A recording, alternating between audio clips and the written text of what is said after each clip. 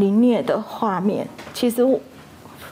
我们真的很心痛，很心痛。死者的姐姐想到弟弟死前惨状，就心如刀割。回想案发前一天凌晨，死者说要去舞厅帮包商朋友敲工程款纠纷，没想到却因此引发杀机。是听说帮人家处理的是三个人，弟海产店老板还有另外一个。死者姐姐是透过弟弟朋友才知道，八号凌晨去舞厅跟建商敲工程款，除了死者，还有烧烤店老板以及包商有人陪同。隔天中午回家满身是伤，才知道在舞厅。被打，气得他在脸书 po 文呛香要给对方挂休。朋友问他怎么了，他还留言说对方要跟他比阿拉多，就是比枪多，还抱怨对方要跟他吵架。然后第二天发生这种事情的时候，他也都没有告知。这种鸿门宴，他怎么可能一个人会过去赴约？